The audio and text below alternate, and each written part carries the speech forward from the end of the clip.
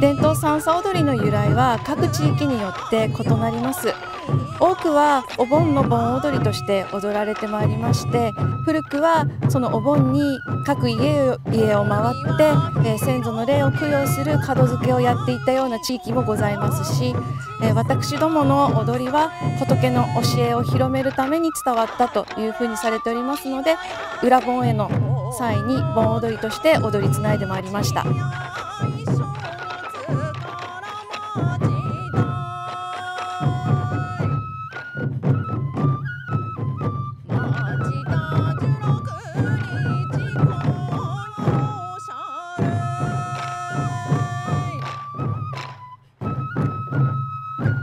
三叉踊りは一時その後継者不足に悩んだ時期もございました。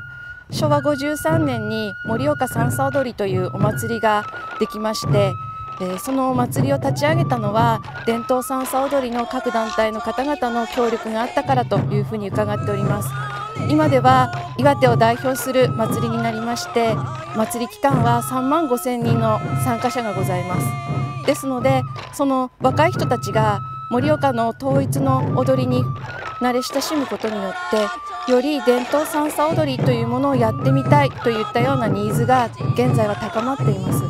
ですので昔はその地域の人でなければ踊れなかった伝統三叉踊りも多くの団体ではその門戸を広げ習いたい方にはどなたにでも教えて伝統三叉踊りを踊っていただくといったような活動を広げています。